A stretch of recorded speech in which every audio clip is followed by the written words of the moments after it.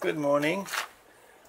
This is a Briggs & Stratton 82 volt 2.0 amp hour max battery. As you can see the, the green LED is showing solid.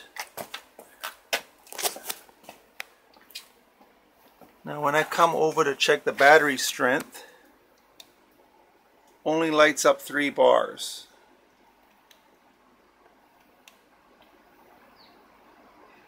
When it's charged, the manual says it's supposed to go to four LEDs.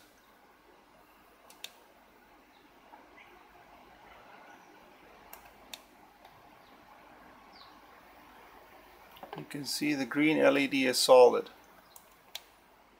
Thanks for watching.